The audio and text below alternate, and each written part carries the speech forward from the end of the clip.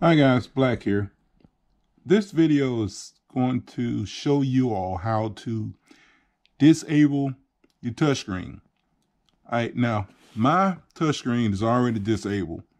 The reason I disabled it was because sometime when I pick up my laptop, I would, you know, touch like that and it would change the screen or whatever.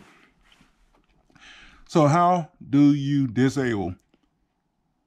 You can come down here, type in device, well, just type in DE and device management will come up.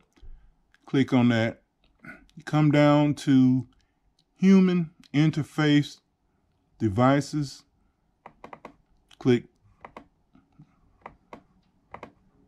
click that and then come down to touchscreen which you probably can't see but you can read it you click on that and this pops up.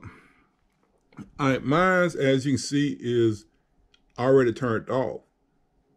So you would click that saying turn off then you hit okay and you might have to restart the screen. Now I would show you show you guys, but I'm uploading video right now, and I don't want to restart my computer while I'm uploading video.